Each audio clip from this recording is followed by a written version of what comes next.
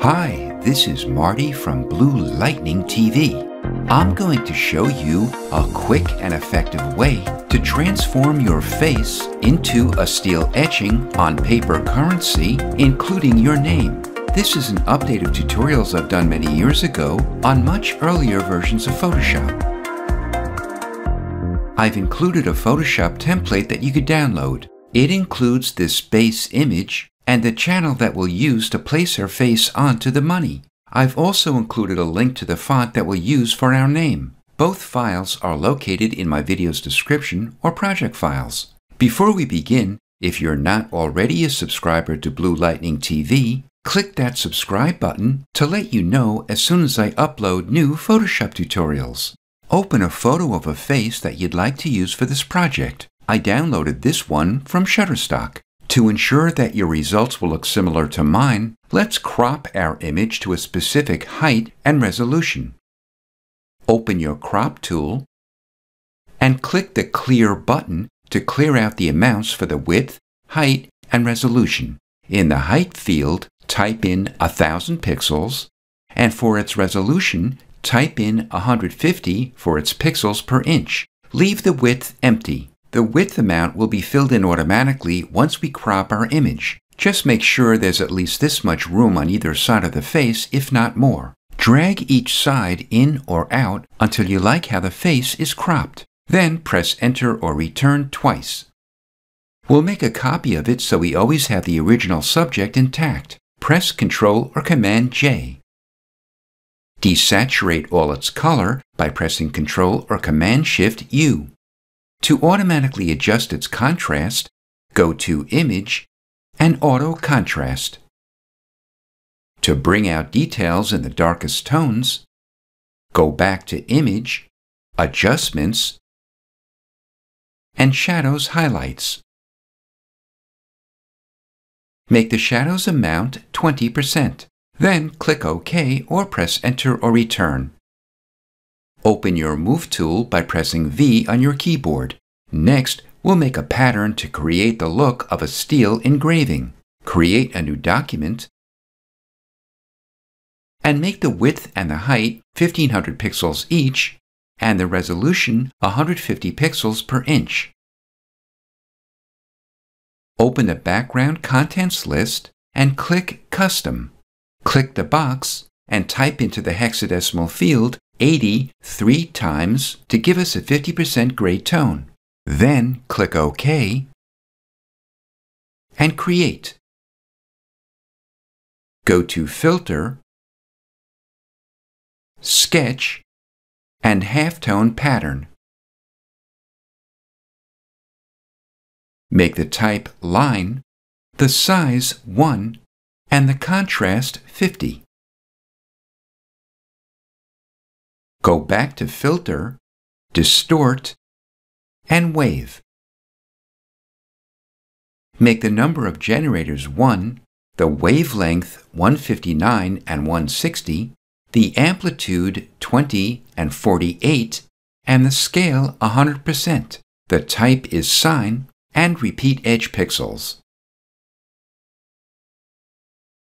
Make a copy of it. We'll invert it by pressing Ctrl or Command I. Go to Edit, Transform, and rotate 90 degrees clockwise.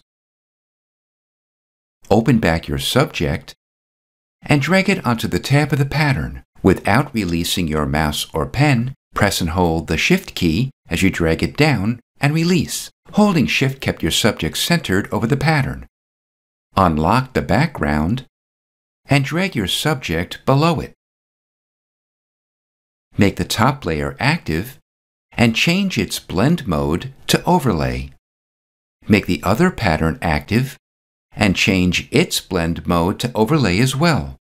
Make the bottom layer active and shift-click the top layer to make all of the layers active.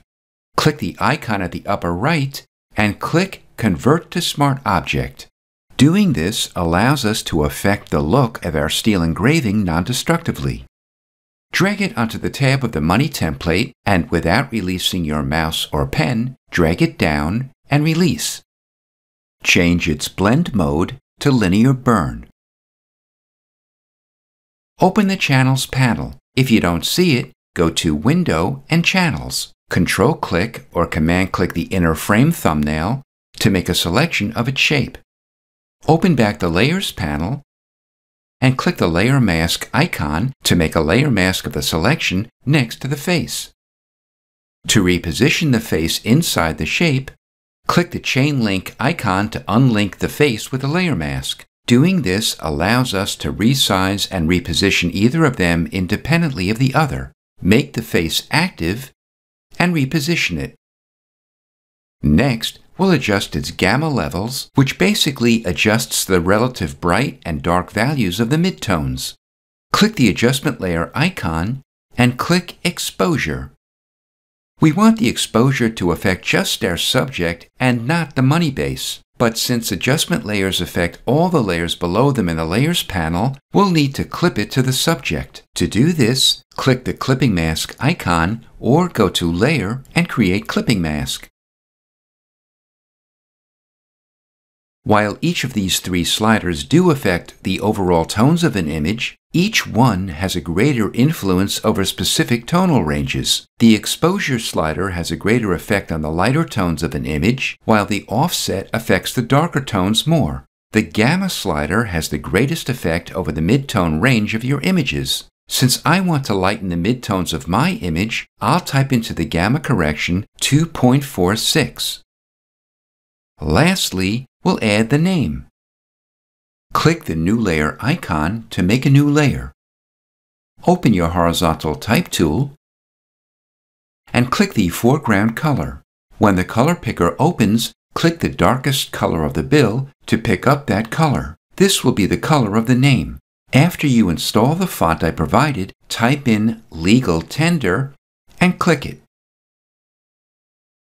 Make the size 13 points the aliasing sharp, and center alignment. Press Z on your keyboard to open the Zoom tool and drag it over the ribbon under the face to zoom into it. Press T to open back your Type tool and click on the ribbon. Type out the name and open back your Move tool. Press Ctrl or Command T to open the Transform tool. At the top, click the Warp Transform icon.